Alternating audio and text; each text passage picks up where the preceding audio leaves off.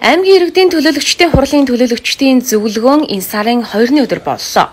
Зөвлөгөөнд улсын хурлын гишүүн аюулгүй байдал гадаад бодлогын байнгын хорооны дарга Баттамөр урилгаар оролцож, улсын хурлаас 2021 оны 11 сарын 12-ны өдөр баталсан Монгол улсын 2022 оны төсвийн тухай. Мөн нийгмийн даатгалын сан эрүүл мэндийн даатгалын сан ирээдүйн өв сангийн 2022 оны төсвийн тухай хуульд тусгагдсан зарим онцлог арга хэмжээг орон нутгийн түвшинд хэрэгжүүлэхэд анхаарах асуудал болон Дархуул аймгийн 2022 оны төсвийн төслийг хилэлцэн батлах, төсвийн орлогын гүйцэтгэл сайжруулах, урсгал зардал, орон нутгийн суур зарлага, төсвийн байгууллагын хөдлөх үйлдвэрлэх хөрөнгийн ашиглалтын зарлалын зохицуулалт, орон нутгийн хүчлийн сангийн хөрөнгөөр санхүүжүүлэх, ажил төсөл хөтөлбөр, арга хэмжээ зохион байгуулахад анхаарах асуудлуудын талаар мэдээлэл өглөө. Манай Дархан уул аймагт 2000 одоо 16-аас 2020 онд 105 тэрбум төгрөгийн ажил хийгдсэн байдаг. А гэтэл бид нэр 2022 онд 110 117 тэрбум төгрөгийн ажил хийхээр тусгасан. Өөрөөр хэлбэл 4 жилийн хугацаанд хийсэн одоо тэр хөрөнгө оруулалтаас илүү юм хөрөнгө оруулалтыг нэг жил хийхээр төлөвлөлөө. Тэгээд энэ асуудлыг бол иргэдийн төлөөлөгчдийн оролт танилцуулсан. За энэ жилийн төсвийн онцлог нь бол юу гэхээр зэрэг төсвийн жилийн урд жил нь зарлж тендерүүд сонгон шалгуулалтаа зарладаг, зарладаг юм болж байгаа. Тэрнтэй уялдуулаад энэ ажлуудаа одооноос эхлээд сонгон шалгуулалтуудаа зарлах, тендерийн хороогоо байгуулах. За тэгээд аль болохоор одоо энэ төсөв тавигдсан энэ хөрөнгө оруулалтуудыг үр дүнтэй ашиглах энэ чиглэлээр одоо би аймгийн хурлын төлөөлөгчд одоо мэдээлэл хийлээ. За 2022 онд бол одоо энэ олон жил дуустгүй нэг спорт цогцлын барилга бол одоо дуусна. Дархан шарын голын хоорондох зам үндснээ 8 км болтгоо байх. 25.6 тэрбум төгрөгийн ажил хийгдэж байгаа. Гурван сургууль байрна. Тий, гурван цэцэрлэг байрна. Таван сургуулийн өргөтгөлийг хийгдэнэ.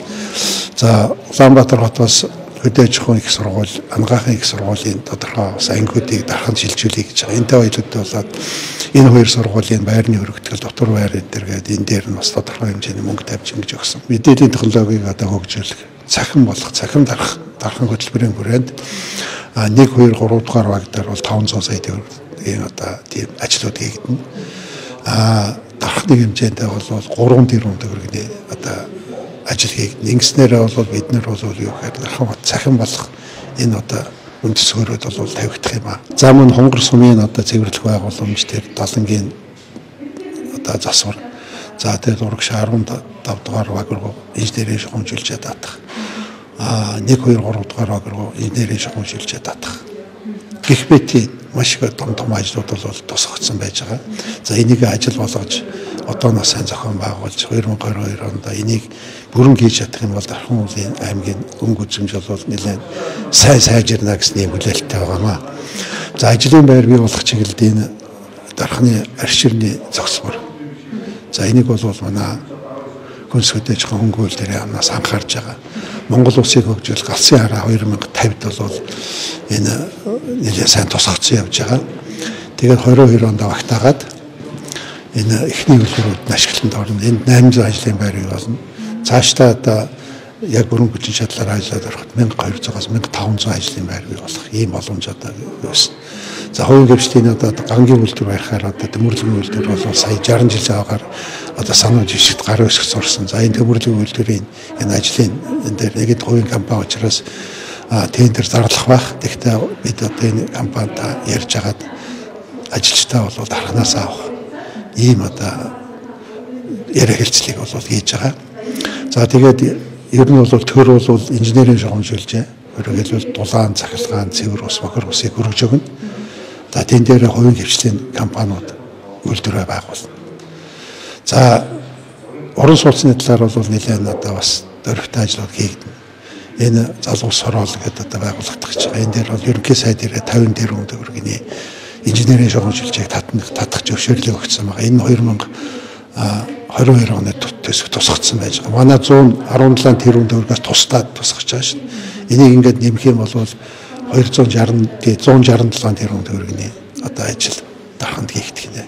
Ийм учраас урд өмнө хязгаарч байгаагүй том бүтээн байгуулалтын ажлууд хийгдэ. Энэ хэмжээгээр бол ажлын байр бий болгоо. Бидний хувьд бол аль болохоор одоо одоо дархны компаниуд шалгараасаа гэж ингэж бодож байгаа. Тендер бол тендер л дээ. Гэхдээ одоо аль багийн үнийн сан дүнтэй чанартай сайн хийх шалгаар. Гэхдээ энэ дээр бол дархны компаниуд шалгараасаа гэсэн тооцоо бид нар хийж ажиллаж байгаа.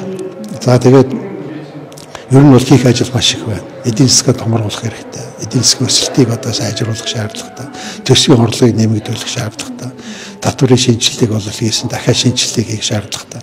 Энэ дээр бол уулуурхан одоо баялагийг одоо эзэмшиж гадагшаа гаргаж байгаа компаниудын орлогын татварыг нэмэгдүүлэх, ашиг нартмын нөөц ашигтай татварыг нэмэгдүүлэх энэ хэмжээгээр төсөв одоо тэлнэ.